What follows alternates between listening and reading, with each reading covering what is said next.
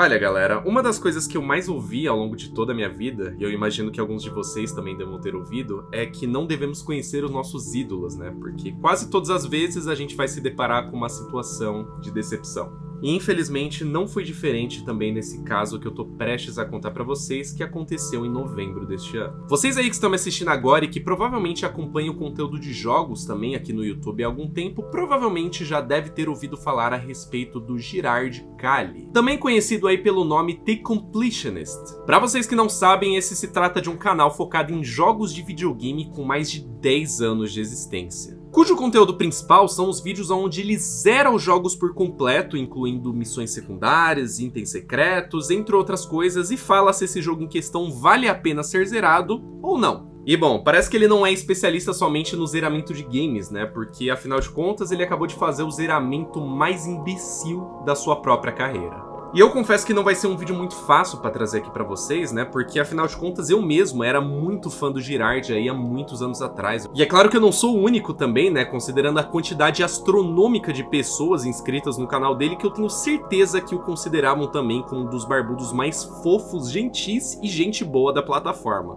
O que infelizmente não era bem assim também. Mas aí vocês devem estar se perguntando, né? Como que um cara tão amável e gentil assim, com tanto tempo de carreira na plataforma, conseguiu ferrar com tudo numa fração tão pequena de tempo? Bom, vem comigo que eu te explico. Bom, para que vocês tenham um contexto completo a respeito de toda a situação que aconteceu, vocês precisam entender que o Gerard não somente fazia vídeos de jogos na plataforma, como também desde o ano de 2018 ele protagonizava uma maratona chamada Indie Land onde ele não somente dava mais espaço para novos criadores de jogos indie mostrarem os seus jogos lá, como também arrecadava dinheiro para uma causa extremamente positiva, que no caso era a batalha contra a demência. Uma doença que infelizmente é muito comum aí, especialmente nas pessoas mais idosas. Tendo isso em mente, galera, vocês precisam entender que todo o dinheiro arrecadado nessa maratona de lives aí ia para uma fundação chamada Open Hand, que se tratava de uma organização sem fins lucrativos dedicada à conscientização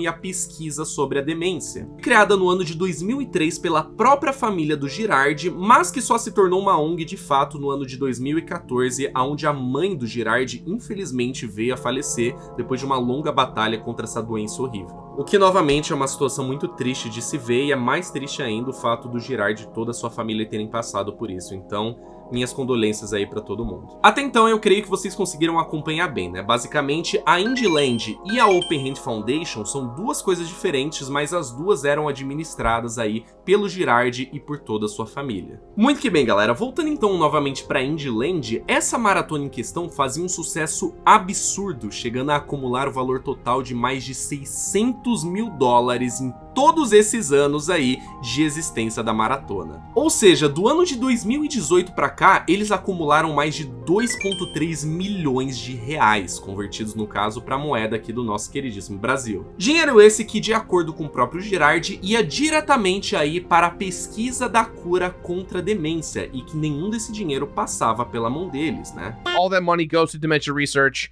We don't touch any of it. We just work with the people who do need the money and we help them do their thing. Pois é, eu acho que vocês já podem imaginar onde que isso aqui vai dar, né? Bom, rapaziada, a merda toda fedeu quando em novembro desse ano, mais especificamente no mês passado, dois youtubers decidiram levantar uma investigação aí para saber se de fato esse dinheiro estava sendo repassado para as instituições de caridade. E foi graças a essa investigação aí a respeito das finanças da fundação Open Hand, que também era da família do Gerard, como eu falei para vocês, eles descobriram que tinha algo muito errado acontecendo. Esses youtubers em questão se tratavam no Mutahar do canal Some Ordinary Gamers, que diga-se de passagem é o meu canal favorito aí da plataforma aí há muitos anos já. E o Carl Jobs também, que apesar de ser um canal que eu não conhecia até o presente momento, né, eu verifiquei que ele faz bastante vídeos aí a respeito de speedruns em jogos e tudo mais, que é um conteúdo bem bacana também também. Resumidamente, senhoras e senhores, o que eles descobriram foi o seguinte. Esses vídeos em questão que foram postados por eles na época mostravam aí que por meio de um levantamento de documentos de imposto de renda que estão públicos inclusive, que podem ser checados por qualquer pessoa na internet, mostrava que todo o dinheiro em questão aí nesses últimos quase 10 anos que entrou na conta da Open Hand Foundation, que novamente era administrada pela família do Girardi, nunca havia saído da conta bancária deles. Pois é. Lembra daqueles mais de 600 mil dólares que eu citei para vocês agora há pouco? Absolutamente nada daquele dinheiro havia saído da conta até então para ser doado para qualquer instituição de caridade. E eu não preciso nem falar para vocês o quão fudido que é essa situação. Afinal de contas, né, não é como se você aí não esperasse que um dinheiro que você doou para caridade fosse, eu não sei, doado para caridade? Basicamente, o único dinheiro que saía de dentro daquela ONG ia para custos de operação, que se tratavam de custos aí para manter a maratona funcionando, como por exemplo, pagamento de funcionários, conta de luz, entre outras coisas, né? Coisa básica, coisa que você já espera. Só que além desse dinheiro, nada mais saía de lá. Tudo estava acumulado dentro daquela conta e nada havia sido direcionado até então para qualquer instituição de caridade. Bom, depois desse levantamento, os dois youtubers em questão que eu citei para vocês confirmaram com outras pessoas que isso de fato, obviamente, né, não era uma coisa normal de se acontecer. E que dependendo da situação poderia até mesmo se encaixar como fraude de caridade, né? Que é uma parada extremamente séria. Foi aí então que eles decidiram entrar em contato com o Girard e a sua família para entender o que, que havia acontecido, né? Eles enviaram então um e-mail para a empresa, né, para tirar todas as suas dúvidas e receberam aí uma resposta basicamente dizendo que a organização simplesmente não conseguia encontrar uma instituição de caridade confiável para doar o dinheiro.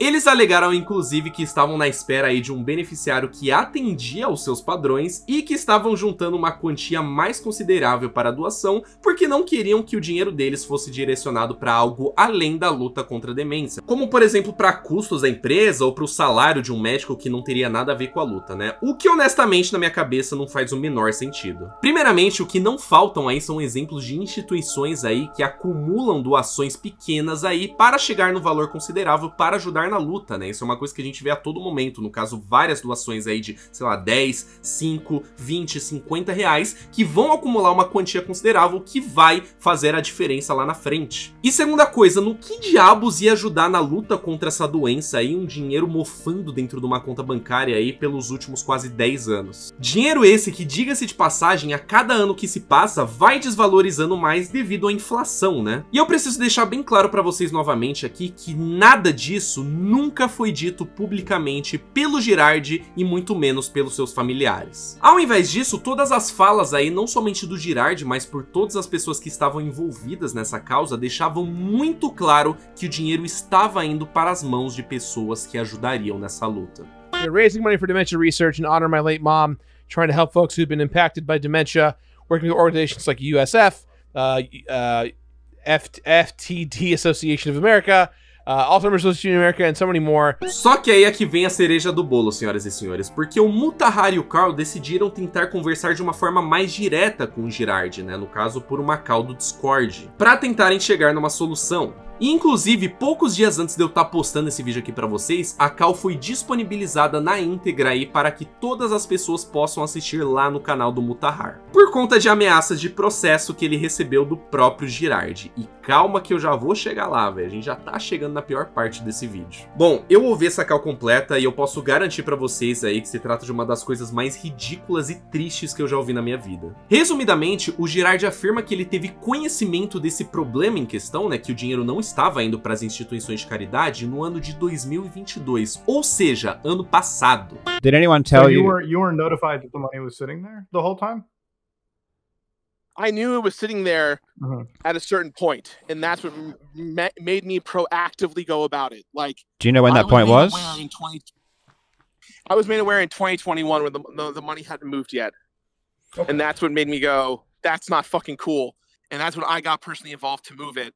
And Did not anyone? 2021, last year, 2022. E que desde então ele decidiu se envolver de forma mais direta a fim de resolver este problema. O que honestamente deixa a situação ainda pior, considerando que ele fez aparições públicas aí falando a respeito aí da Indieland e tudo mais, e que ele simplesmente decidiu esconder isso do público, sendo que o próprio já sabia dessa questão aí quando esse próximo trecho que vocês vão ver aconteceu.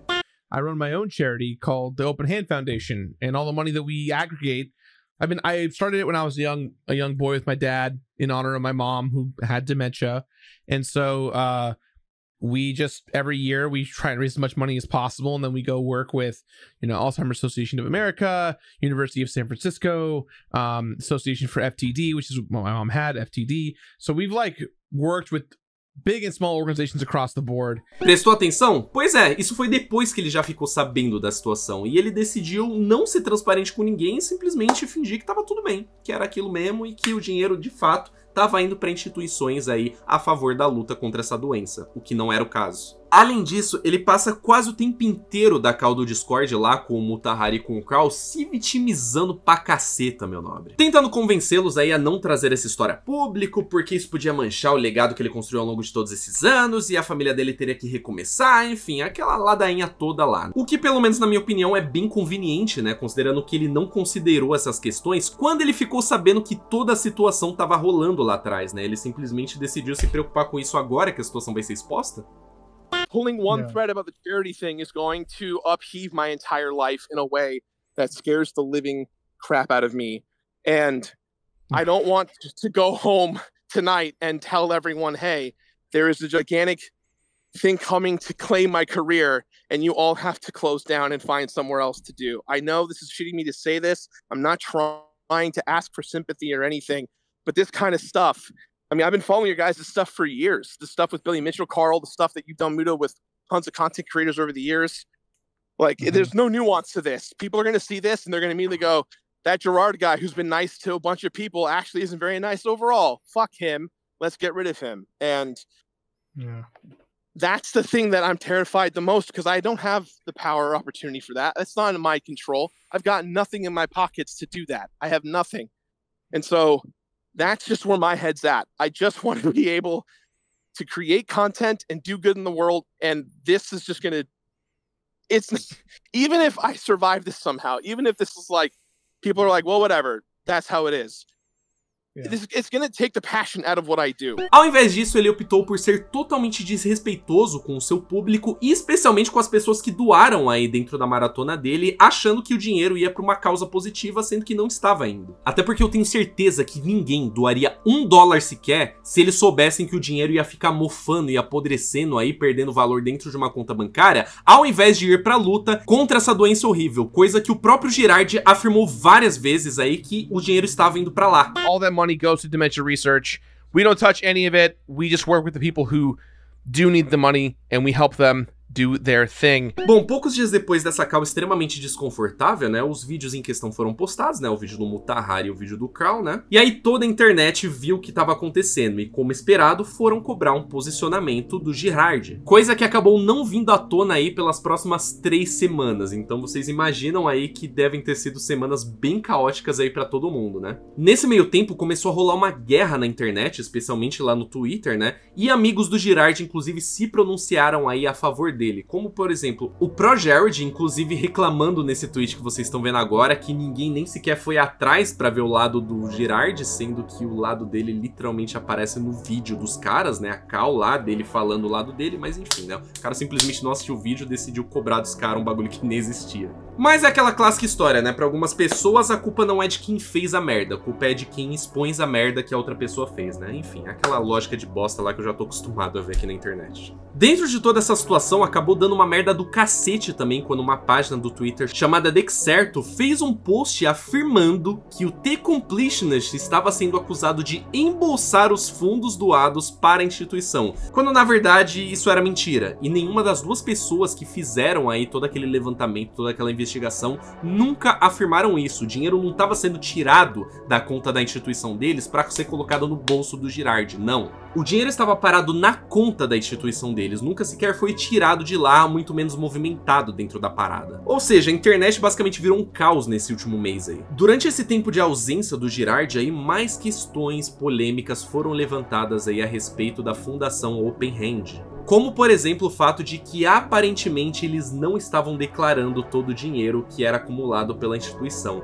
Tendo em vista que eles também organizavam até mesmo um torneio de golfe anual com vários patrocinadores como Monster, Coca-Cola, entre vários outros, mas que aparentemente não trazia nenhum dinheiro para dentro da conta da Open Hand, ou pelo menos não dinheiro declarado. Sério, galera, foi tanta coisa absurda que acabou sendo descoberta a respeito dessa fundação aí, que se eu tentar resumir tudo pra vocês, eu vou passar os próximos 50 minutos aqui tentando explicar detalhe por detalhe, tá? Então eu só queria passar esse resumo aqui bem resumido pra vocês, e eu recomendo que vocês aí assistam os vídeos originais aí, tanto do Mutahar quanto do Cal, porque tudo lá é mostrado de forma extremamente clara e também muito explicado. Eles mostram como você pode fazer esse levantamento no site, mostram documento por documento, dando destaque ao que precisa ser destacado, né? Então, se você tem algum conhecimento em inglês, se você consegue acompanhar vídeo em inglês, recomendo que vocês assistam, os vídeos estão aqui embaixo na descrição também. Entretanto, galera, a história chegou no seu ápice quando quase três semanas depois aí de não ter falado absolutamente nada, o Girard veio a público dar o seu pronunciamento. E eu só não digo que foi o pior pronunciamento que eu já vi na internet, porque, bom, tem piores aqui, né? Vocês sabem do que eu tô falando. Eu vou falar sobre isso outro dia, não vou nem entrar em detalhes aqui. Só que dentro de toda essa merda que tava rolando, pelo menos uma coisa positiva aconteceu, que no caso foi a doação de todo o dinheiro que estava na conta do Open Hand, que foi repassada para uma instituição de caridade que estava na luta contra a cura dessa doença, né? A doação foi feita no dia 29 de novembro e convenhamos, né? Foi super fácil, né? Tudo que precisou ser feito foi uma empresa ser exposta lá, guardando dinheiro há quase 10 anos sem repassar para instituições, né? Super tranquilo, assim, ó. Meus parabéns. Meus parabéns. Mas é aquela coisa, né? Antes tarde do que nunca, eu acho. Agora, voltando novamente aí ao vídeo resposta do Girard, que tem um pouco menos aí de 20 minutos de duração, Bom, o que eu posso falar a respeito desse vídeo resposta, né? Se eu não queria enfiar uma vassoura inteira no meu rabo ao longo de toda essa treta, esse vídeo mudou completamente a situação, tá? Porque a vassoura entrou, meu consagrado, e entrou com gosto. Aquele mesmo cara lá na cal anterior que eu citei pra vocês aqui do Discord, que parecia com um moleque de 10 anos aí que foi pego no flagra roubando bala de iogurte na venda da esquina, de repente virou um galo bolado, peitudo, tá ligado? Batendo aqui o pau na mesa e falando, não, veja bem eu vou botar pra lascar. E basicamente ameaçou de processo aí as duas pessoas que levaram essa investigação, que no caso é o Mutahar e o Crown. Meus parabéns. Eu devo dizer que definitivamente não é a melhor postura que você tem que ter numa situação dessa, onde você tá claramente errado, né? Mano, eu real não entendo. Qual que é a porcaria da dificuldade de assumir que fez merda e pedir desculpa. Não é como se tivesse sido uma situação da palavra de um contra a palavra de outro, que o cara estivesse tentando argumentar. Não, não. Ele tá errado. Todas as provas, todos os documentos públicos que foram levantados aí estão disponíveis para que todas as pessoas vejam, mostram a postura de merda que o Girardi e toda a sua família teve ao longo desses anos de empresa. E que, inclusive, foi confirmado pelo próprio Girardi naquela cal e pelo irmão dele também no e-mail, que é um dos responsáveis da empresa. A partir do momento que vocês decidiram não serem transparentes aí com todo o público que acompanha vocês aí e decidiram fingir que nada estava acontecendo e tiveram que ser expostos aí de uma forma extremamente chata, isso já mostra um desrespeito imenso da parte de vocês. Vocês deveriam ter deixado o pessoal ciente da situação. E eu tenho certeza que se ele tivesse chegado a público e falado algo do tipo, gente, é o seguinte, fizemos merda. Eu achei que o dinheiro de fato estava sendo doado para as instituições e depois eu vim a descobrir que não estava e aí eu acabei não sendo transparente com vocês porque eu estava esperando os trâmites e achar uma instituição certa para fazer a doação e eu errei, especialmente mentindo falando que o dinheiro estava indo para essas instituições. Então por isso eu peço mil desculpas e eu vou me prontificar aqui a fazer a coisa correta daqui para frente e eu peço para que vocês me deem uma segunda chance para mostrar que eu mudei de fato. Aí talvez vocês teriam conseguido limpar um pouco a merda que foi jogada no ventilador. Mas não, o que, que o Gerard decidiu fazer? Ameaçar as pessoas que fizeram esse levantamento aí de processo. E não só isso, como tentar culpabilizar o público aí de uma forma, meio que falando, ó, oh, mas veja bem, eu sinto muito que vocês se sentiram dessa forma. Eu sinto muito se na verdade vocês entenderam isso. I'm disappointed that I was not more straightforward regarding the foundation's timeline for making donations and that I made statements potentially implying donations were made when they had not yet been. All that money goes to dementia research.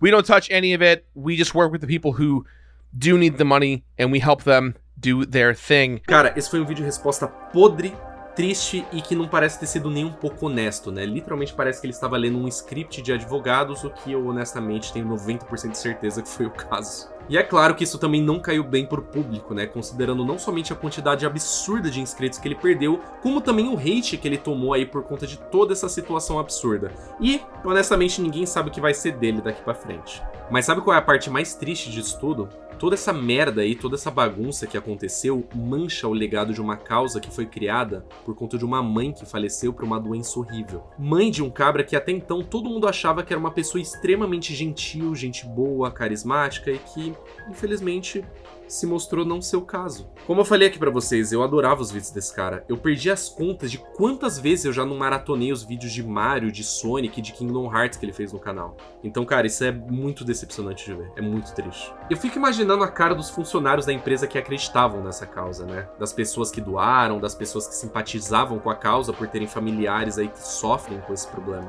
Eu mesmo, infelizmente, passo por isso, porque a minha avó, por parte de pai, tá lutando contra essa doença também. E, cara, é uma das coisas mais tristes de você ver, cara. Eu não desejo isso para ninguém. É algo que você definitivamente não quer passar e muito menos quer ver alguém passando por essa situação. É, é muito bosta. É muito bosta, velho. No final das contas, galera, eu acho que o melhor aprendizado que a gente pode tirar com base em toda essa situação é que, cara, sejam transparentes com as pessoas que te acompanham. Toda essa merda poderia ter sido evitada se o Girardi tivesse sido honesto com as pessoas lá atrás quando ele ficou sabendo desse problema e tivesse vindo a público para falar a respeito da situação, para explicar que na verdade o dinheiro estava lá, que eles estavam aguardando para repassarem o dinheiro de uma forma positiva e tivesse sido honesto, ao invés de ter mentido para as pessoas. E que especialmente se isso tivesse acontecido antes de outras pessoas precisarem expor-se à situação por ele. E aí nessa brincadeira, um cara acabou com a própria carreira de uma forma extremamente idiota que poderia ter sido evitada. E tendo em vista a repercussão de todo o público, eu não vejo muito como esse cara pode voltar a ser o que ele era antes. Eu honestamente não vejo. Posso até queimar minha língua futuramente e que de fato ele possa se reinventar e mostrou que é uma pessoa melhor, mas cara, tendo em vista tudo que aconteceu, o desrespeito que foi toda essa situação, ainda mais levando em consideração que era algo para ser de caridade, tá ligado? Era uma situação que no final das contas era para ser uma luta contra uma doença que afeta milhares de famílias aí no mundo inteiro, cara. E, mano, isso, isso é muito triste, isso é muito bosta, cara. Só deixa a situação pior para mim. Mas enfim, senhoras e senhores, eu espero que vocês tenham entendido toda a situação, né? Que eu tenha conseguido resumir para vocês. E se vocês gostaram desse vídeo aí, não se esqueçam de mostrarem um apoio, deixem um like, se inscrevam, né? Eu pretendo fazer mais vídeos desse tipo aqui, vídeos mais informativos no canal. Então, espero que vocês tenham gostado. E comentem embaixo também se tem algum caso que vocês querem que eu traga aqui no canal, que eu explique e que eu dê a minha opinião a respeito também. No mais, galera, a gente se vê na próxima. Fiquem bem, um beijo, valeu, falou, até mais, é nóis e tchau.